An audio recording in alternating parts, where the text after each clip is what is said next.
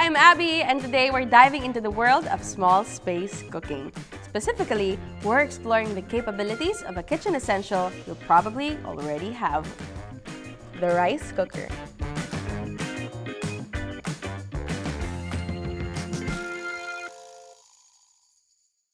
In this episode, we're tackling the challenge of turning your trusty rice cooker into a versatile steaming machine. Whether you're in a dorm, condo, or snug boarding house, we'll show you how to prepare a range of steamed dishes, making the most out of your limited kitchen space. First on our list is one of my favorite side dishes in every Korean barbecue session, the famous steamed egg. It's easy, comforting, and all your ingredients might just be already sitting in your kitchen. Start by chopping your onions, garlic, carrots, and spring onions. Since eggs cook fast or easily, mince your vegetables finely to ensure all your ingredients are evenly cooked, that there will be no chunks, and still get that signature smoothness of a steamed egg. Now, the star of the show, our trusty rice cooker. For our broth, put about 2 thirds to 1 cup of boiling water into the rice cooker. This is the secret to achieving our eggs fluff. Toss 1 chicken cube or you can use chicken or vegetable stock, but as a broke college student, cubes is that girl. While waiting for it to fully dissolve, add your minced vegetables and give it a good stir. Set aside to let cook. Now we'll scramble 4 eggs in a bowl because in true Samgyup fashion, this is for sharing. Or not, if you know what I mean. Once your vegetables are slightly cooked, season with fish sauce, you can also use salt or soy sauce, but fish sauce really brings out that umami flavor we all love. Then some freshly cracked black pepper. Finally, pour in your scrambled eggs. Cover and let steam for 3 minutes. You'll know it's cooked when it's already firmed up. If you want extra soup sitting at the bottom of your eggs, like me, go for more water. What I love about this dish is I can make it for breakfast, as a snack, or maybe as a side dish at dinner using any available vegetables inside my fridge. And you'll finally have your easy, fluffy, and flavorful Korean steamed egg. You can also use this recipe in a small pot like they do in restaurants, but we don't want to eat in the rice cooker, so plate it using your prettiest bowl and top it off with spring onions to give it that fancy restaurant look to elevate your dorm dining experience.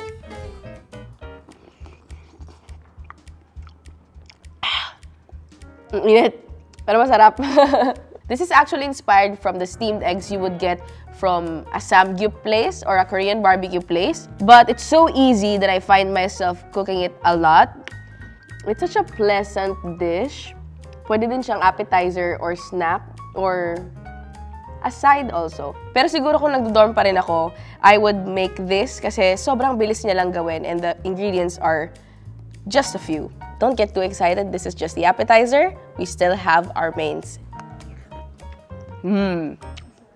Bro, condo living challenges you ng malala, but it does make you creative and resourceful. So for our next dish, we will push our rice cooker's limits and make that affordable and delicious steamed tilapia. First step is to peel your ginger. I like using a spoon because they're very efficient. It peels the ginger skin without worrying if may nasama kang laman. So, walang sayang. Di tulad ng pagsayang niya sa'yo. Slice the ginger into thin matchsticks, then your green onion in a similar size. Set aside and secure another set for your garnish. The protein of this dish is tilapia.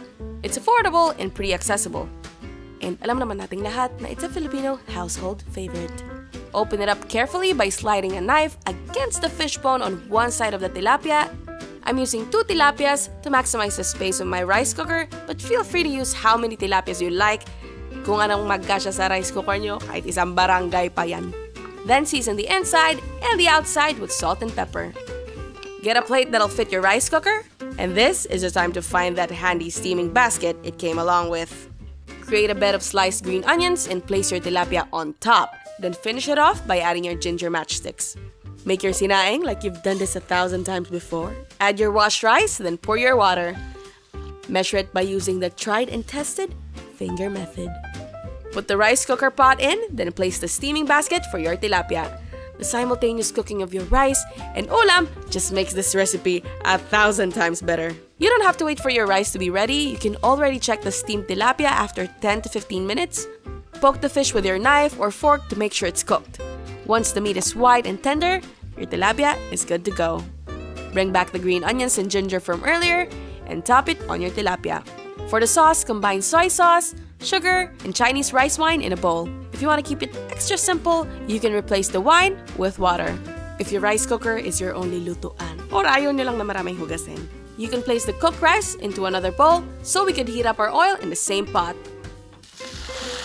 Pour the super hot oil into your tilapia and let the vegetables wilt. Finish it off with your soy sauce mixture, get a plateful with your rice, and with that, lunch is served. This dish is a big time saver. It's simple, but still oozing with so much flavor. Let's taste.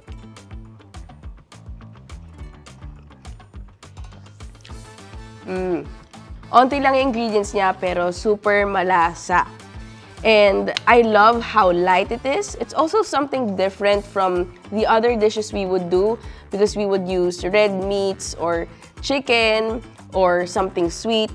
And although this recipe is very simple, I believe it's actually restaurant quality.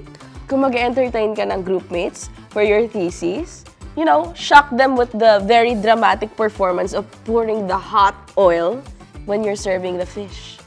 And they'd be like, yun na lang niya palagi sa group. Magluluto na lang siya. O hindi ako ganun. May ambag ako. But this one, it's sure to impress. Our third and last recipe is another ulam, but this time, chicken takes the center stage. This looks like a restaurant level dish, but you can easily make this while you're studying or doing chores. Let's make chicken ginger rice. To start a marinade, mince your green onion, ginger, and garlic. Add the aromatics in a bowl with boneless chicken thighs. You can use any cut that you want for this. Season with salt, then mix well until nasyado na ang lahat. Balutin mo ako. Or until every inch of the chicken is covered. Maybe even sneak some of the marinade under the skin, why not? Set it aside and let it marinate for 1 to 2 hours. Afterwards, you can start cooking your rice. And yes, this is another dish where you can simultaneously cook your rice and your ulam. How nice.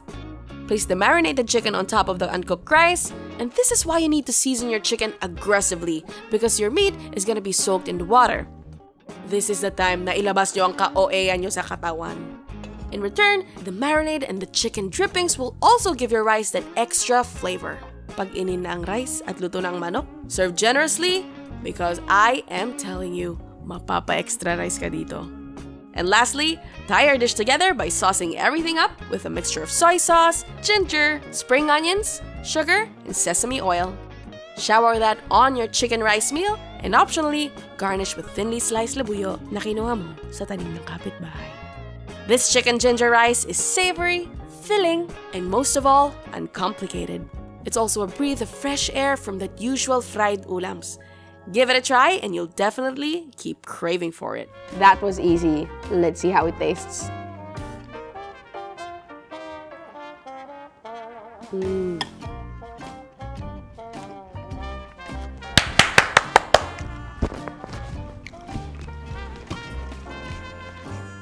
Because of the marination ng chicken, hanggang loob may lasa.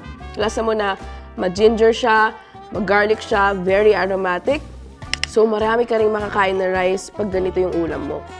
And because we used a moist cooking method, which is steaming, mas madali mong ma-achieve yung moist, tender chicken as long as you know how long you would have to cook the chicken. And I also believe na very necessary pa rin yung sauce na ginawa natin because the chicken is nice, but it lacks that wow factor. But yeah, if you nail all of these elements, it's gonna be a flavor feast, a flavor bomb, like a flavor Oppenheimer. Hindi ko pa napanood. so if you're looking for something light and nutritious and very easy to do, and very fast as well because nakaasa lang din dun sa pagluto ng rice yung chicken, this might be something you would consider.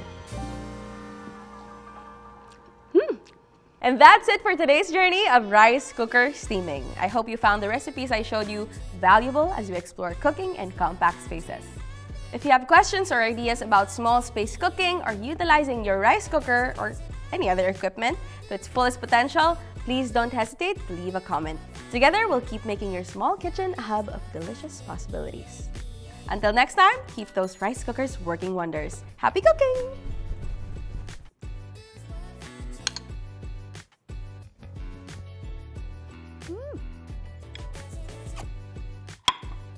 dois da manhã.